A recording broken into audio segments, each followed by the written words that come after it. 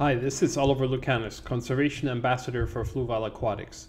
We discussed large fish in the last video, so today I want to show you some microfish. The smallest freshwater fish are in the 1 to 3 centimeters or half to just over 1 inch range.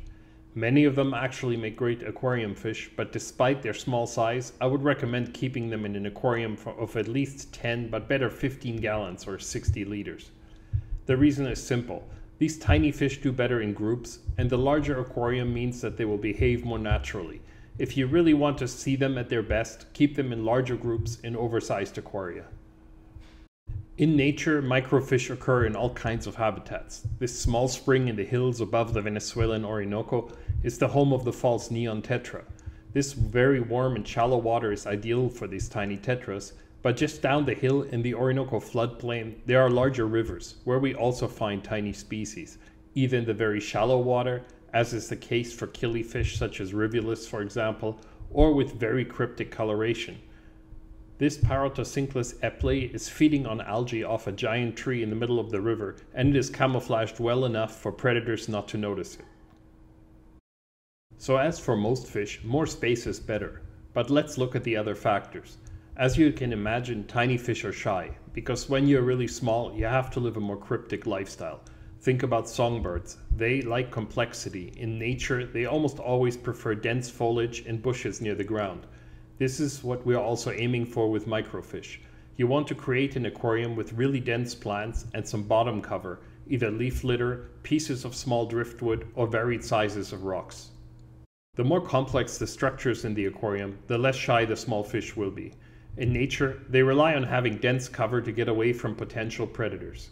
Tiny fish, such as this Poeciliocharax weitzmani, can survive in large rivers because they can live in the leaf litter and almost always remain under overhanging cover. In the aquarium, they are shy but spectacular fish and they are territorial despite their diminutive size. The same is true for the smallest gouramis, the licorice gouramis of the genus Parosphromenus. In Asia, there are lots of small barbs, and especially the genus Boraras, a very good and surprisingly hardy aquarium fish, unlike the spectacular but fragile Sundadanio species. All of these minuscule barbs have very beautiful colors and come from black water rivers. There are also some very small loaches, such as this Petruichthys. But my favorite tiny fish from Asia are the gobies of the genus Stiphodon. These are very colorful and make excellent algae eaters. They will generally not eat dry food, but in a well planted aquarium, a small number of them should always find enough algae to rasp throughout the day. Their habitats are clear, fast flowing streams in Asia and stretching all the way out to the islands of Micronesia, where they are often the only freshwater fish. Some small fish are also a bit more sensitive, so do the research. What kind of water do they occur in? What kind of temperatures are there over the seasons? What larger fish live with them? Are there any plants, or is the water really shallow? These factors matter for small fish, and it leads us to the most important point the food. Small fish have small mouths, and feeding them is at times more tricky than feeding medium sized fish that make up the majority of our aquarium fish. Most of our prepared fish food is not fine enough for microfish, so the food has to be broken up. Easy enough with flake food and most pellets, a little trickier with frozen food that has to be reduced to bite size with a razor blade or pestle. Some of the really small stuff is hard to feed, and some microfish just don't do well with dry food alone. A good example are the tiny licorice gouramis, chocolate gouramis, and freshwater pipefish. These thumbnail sized tiny fish prefer live food, culture vinegar eels, and hatch brine shrimp for these fish, or you can go out to a pond and catch them some food in the summer months, such as Daphnia. It takes some time to get them used to fine pelleted foods, and some species may not. Tiny fish occur on all continents, so there are plenty of choices. Many tetra species fit our size limit, but besides the obvious choice of pencilfish of the genus Nannostomus, there are also some truly tiny tetras, such as Tyttocharax, Melanocharacidium, and the beautiful hummingbird tetra, Trochilocharax ornatus. With such a huge diversity of catfish in the Amazon, it is no surprise there's plenty of really small species.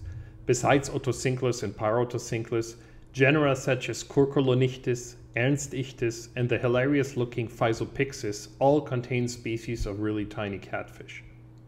Course, Corydoras are generally small catfish, but species such as Corydoras hastatus, Pauci radiatus, and Pygmaeus are among the smallest.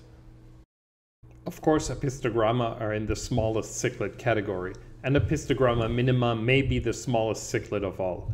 Other species that remain very small are Apistogramma pucallpaensis and Diplotaenia.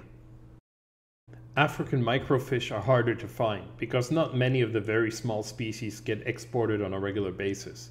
The smallest barbs are Enteromius jae and Enteromius hulstaerti, and the tiniest characins would be Lepidarchus adonis and Neolebias species. These fish are tricky to acclimate because often they are too thin after transport. Once established, they are easy to keep in an aquarium. Many killifish, such as Congo panchax and some Aphyosemion, also remain very small. There are a few small African catfish, such as Microsynodontis, as well.